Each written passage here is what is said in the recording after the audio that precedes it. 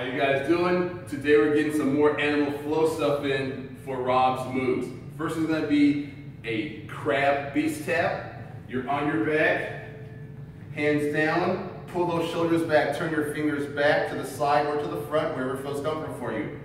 Pull it up and just tap, tap, tap, tap. Gonna stay along those things and we're doing another tapping. This one, you're in that prone position.